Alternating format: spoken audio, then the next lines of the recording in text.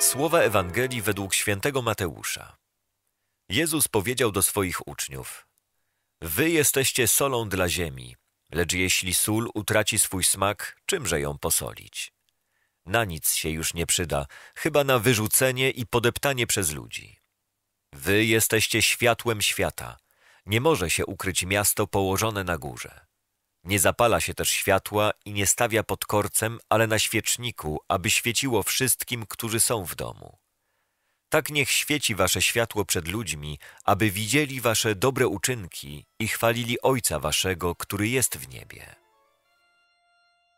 Upodobnić się do Boga, stając się jak On światłością, która rozprasza ciemności świata. To nie utopia, ale realne zadanie, jakie winni wypełniać w swoim życiu uczniowie Chrystusa. Czy wydaje się ono Tobie nierealne?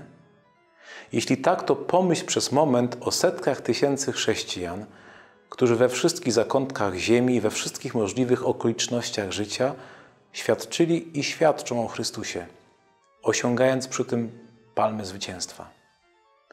Droga do świętości nie jest drogą zbyt trudną dla Ciebie.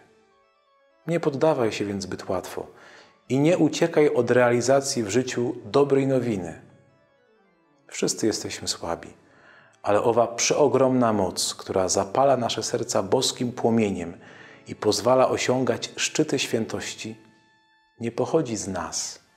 Nie jest naszym wytworem osiąganym poprzez niewyobrażalnie trudne ćwiczenia, ale jest łaską Boga. To Bóg sam dokonuje w nas swoich dzieł. On czyni z nas lampy święcone Jego boskim blaskiem. On sprawia, że stajemy się solą, która nadaje smak nie tylko naszemu życiu, ale również życiu innych ludzi. Dbajmy i rozwijajmy w sobie to Boże światło. Niech ono, wychodząc z naszych wnętrz, z naszych serc, rozproszy mroki grzechu i da światu nową nadzieję, nadzieję zbawienia.